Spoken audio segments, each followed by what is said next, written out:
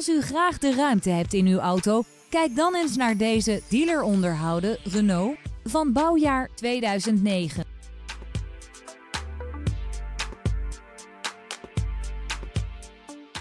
Deze auto is voorzien van cruise control, een elektrisch bediend glazenschuif kanteldak en een navigatiesysteem.